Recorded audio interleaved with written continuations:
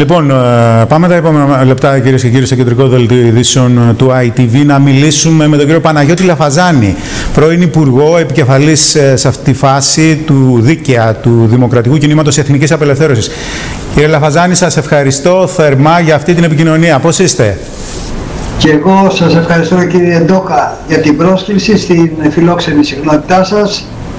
Είμαι όσο είναι δυνατόν να είναι καλά κανείς σε μια τέτοια περίοδο. Τώρα, εγώ σας κάλεσα γιατί είδα ότι είχατε ακόμη μια δικαστική περιπέτεια ε, με τις παρεμβάσεις, για τις παρεμβάσεις σας σε πληστηριασμούς και επειδή θεωρώ μείζον κοινωνικό ζήτημα το ζήτημα των πληστηριασμών και θεωρώ ότι κανένας άνθρωπος που δεν μπορεί να πληρώσει αποδεδειγμένα δεν πρέπει να χάνει την πρώτη κατοικία του, το σπίτι του, θα ήθελα να αναδείξουμε για μία ακόμη φορά αυτό το θέμα. Λοιπόν, χθες είχατε μια δικαστική επίσης εξέλιξη, μια καταδίκη δικαστική για διατάραξη κοινής ειρήνης τελικά. Ήταν βαρύτερες οι κατηγορίες και μια ε, επιβολή ποινής 8 μηνών. Γιατί ακριβώς, πείτε μας, περί τίνος ακριβώς πρόκειται. Γιατί καταδικαστήκατε, κύριε Λαφαζάνη, για μια παρέμβαση που κάνατε κατά πληστηριασμών. Σας ακούμε. Βεβαίως. Ε, ε, κοιτάξτε, έχω τρεις δίκες οι οποίες ξεκίνησαν από την κυβέρνηση Τσίπρα είχαμε έκτοτες συνεχείς αναβολές ναι. και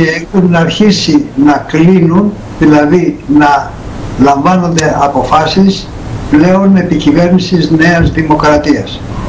Το κράτος στην Ελλάδα έχει συνέχεια. Έχει συνέχεια μόνο στο κακό. Μόνο σε ό,τι είναι σε βάρος των πολιτών.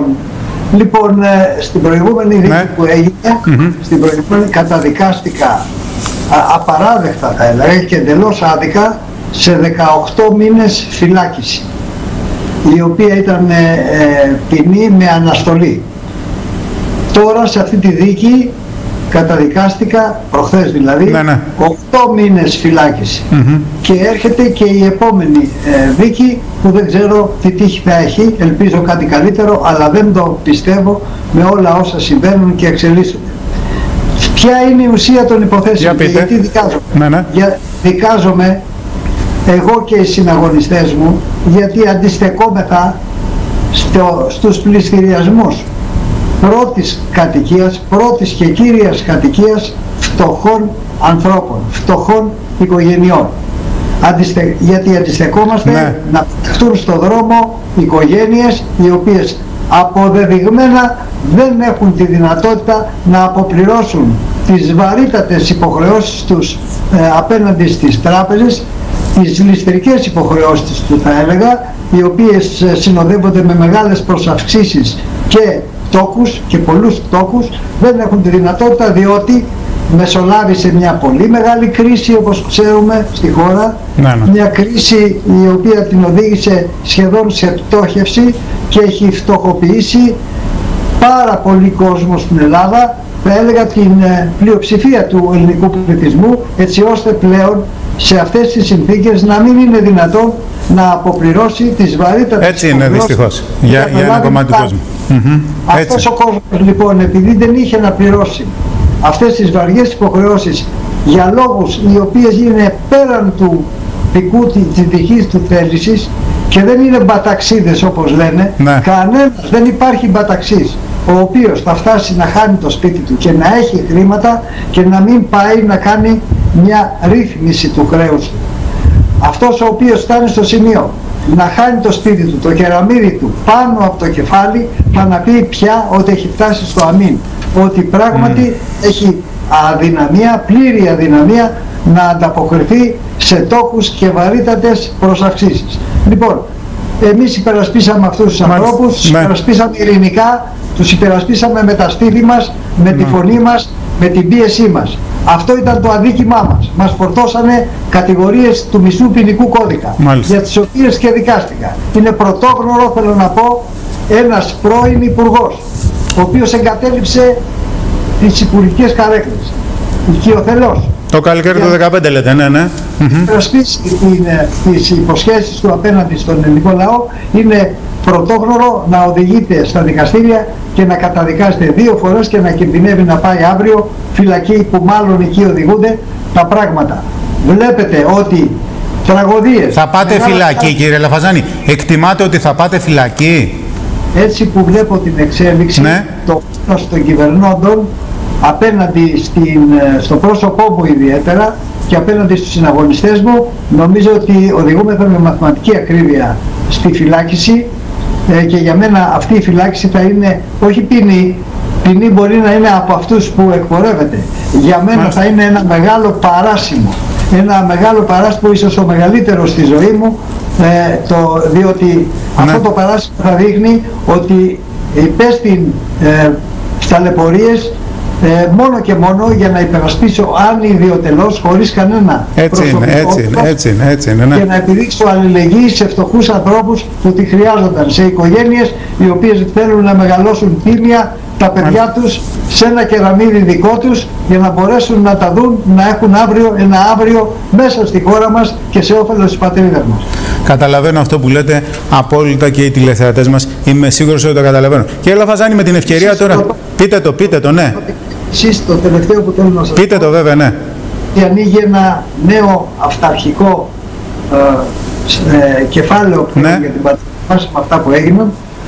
Είχαμε το πρωτόφανες φαινόμενο, πρωτόγνωρο φαινόμενο και στις δύο δίκες Ναι. οι εισαγγελείς να προτείνουν την ε, πλήρη απαλλαγή όλων των κατηγορουμένων από τις κατηγορίες. Ναι. Και δυστυχώς έρχεται η έδρα, το τριμελές πλημελιωδικείο και να αποφασίζει κόντρα στην εισήγηση, Στην εισήγηση του δημόσιου κατήγορου, του εισαγγελέα. Έχετε δίκιο, είναι πρωτόγνωρο. Είναι Ναι, εντελώς σπάνιο, πρωτόγνωρο. σπάνιο. Ναι. Μάλιστα να συμβεί, όχι μόνο σπάνιο, δύο φορές συνέχεια για την, για την ίδια θεματολογία, για το, για, με τις ίδιες κατηγορίες. Να στέκεται ο εισαγγελέας δίπλα μας Μάλιστα. και μάλιστα με τεκμηριωμένα και με ένα συνταγματικό και δημοκρατικό λόγο και να τιμά τις καλύτερες στιγμές της ελληνικής δικαιοσύνης, τις πιο υψηλές στιγμές δικαιοσύνης και να έρχεται η έδρα μετά να θέτει ποινές κόντρα στην εισήγηση του εισα- του εισαγγελέα και κόντρα στη λογική, το δίκαιο και το δημοκρατικό. Έχετε, στο- έχετε δίκιο σε αυτό. Καλά κάνετε και το λέτε, γιατί οι δημόσιοι κατηγοροί συνήθως προτείνουν ποινές και η έδρα πολλές φορές αποφασίζει κάτι πολύ λιγότερο ή κάτι λιγότερο. Εδώ έχουμε εισαγγελείς και στις δύο περιπτώσεις, λέτε, που πρότειναν αθώωση για εσά και έρχεται η έδρα και ε, επιβάλλει ποινές.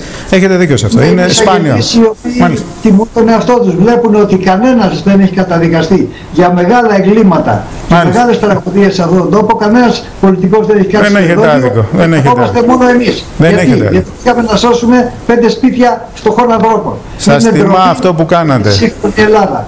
Κύριε Λαφαζάνη, λοιπόν, ε, να δούμε με την ευκαιρία που μιλάμε ένα σύντομο σχόλιο θέλω για το πώς βλέπετε τα πράγματα στην κεντροαριστερά και θέλω ε, να μου κάνετε ένα σχόλιο για αυτό που συμβαίνει στην κεντροαριστερά μετά τις ε, ευρωεκλογές, μετά το αποτέλεσμα των ευρωεκλογών. Τι λέτε, πώς τα βλέπετε εσείς; Κοιτάξτε, η κατάσταση της κεντροαριστεράς φαίνεται καθαρά με τη στάση της απέναντι στα δίθεν αδικήματά μας και τις ε, απαράδεκτες ποινές που μας επιβλήθησαν. Κανένα κόμμα στην ελληνική πολιτική ζωή, ιδιαίτερα κόμμα από τα κόμματα της κεντροαριστεράς, δεν βγήκε να πει το παραμικρό ε, υπέρ μας για αυτή την άδικη ποινή και την άδικη Δίωξη, λέτε. φυλάκιση που Ναι. μας προετοιμάζουν. Άδικη, όχι δίωξη, πια έχουμε φυλάκιση. Ναι, ναι, έτσι είναι, έχουμε ναι, ναι. Ποινή, έχουμε ποινή, καταδικαστική ποινή. Ναι. Δεν βγήκε να πει τίποτα. Και μάλιστα αυτές οι διώξεις εκπορεύτηκαν από ένα κόμμα της κεντροαριστεράς στο κόμμα που ήμουν δεύτερο πρόσωπο, το ΣΥΡΙΖΑ, και το οποίο εγκατέλειψα για τους γνωστούς λόγους. Ναι. Λοιπόν, Το 15 με τη Λαϊκή αυτή η Ενότητα. Ναι, ναι. παράταξη- αυτή ναι. η παράταξη δεν έχει βγάλει κανένα απολύτως συμπέρασμα από τα μεγάλα λάθη τα οποία διέπραξε και φέραν τη νέα δημοκρατία εκ τον κύριο Μητσοτάκη στην εξουσία και τον διατηρούν. Όσες ενωτικές πρωτοβουλίες και να Ναι. ληφθούν, αν δεν υπάρχει από την πλευρά της παράταξης αυτής ουσία αλλαγή πολιτικής, ανατροπή της μέχρι τώρα πολιτικής και νέα πορεία πλεύσης που δεν το βλέπω εύκολο να υπάρξει, μάλλον το θεωρώ αδύνατο. Λοιπόν, αν δεν υπάρξει αυτό, δεν πρόκειται όσες ενοποιήσεις και να γίνουν να έχει καλύτερη τύχη και καλύτερη μοίρα αυτή η παράταξη και πολύ περισσότερο να φέρει κάτι καλύτερο στον ελληνικό λαό. Σας ευχαριστώ θερμά κύριε Λαφαζάνη. Θα έχουμε την ευκαιρία να τα ξαναπούμε σε κάθε περίπτωση. Βεβαίως, Κώστα, σε ευχαριστώ κύριε Ντόκα και χαιρετίζω τους ακροατές μας από τη φιλόξενη συχνότητά σας. Να είστε καλά, να είστε γερός πάντα. Τώρα κυρίες και κύριοι.